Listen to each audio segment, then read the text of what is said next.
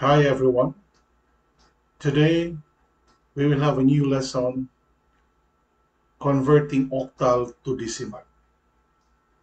I have here the number example 269 octal then we will convert this one to decimal. First we will put 8 here since this is octal Then we will put the exponent, which is the 0, 1, and 2, 3, and so on. We will extract, we will get the 2 here. And since it is 8, we will copy 8 raised to the power 2. Next, we have to get the number 6 here. Then 8 raised to the power of 1. And number 9.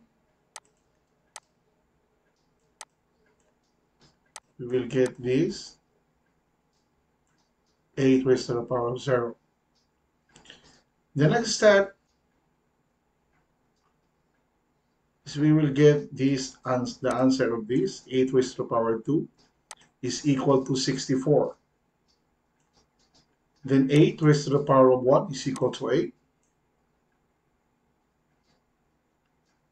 Then 8 raised to the power of 0 is equal to 1.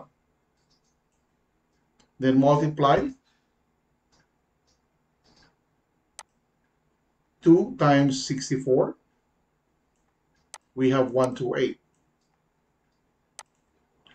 Then 6 times 8, we have 48. And 9 times 1 is equals to 9. So get the sum of these three numbers.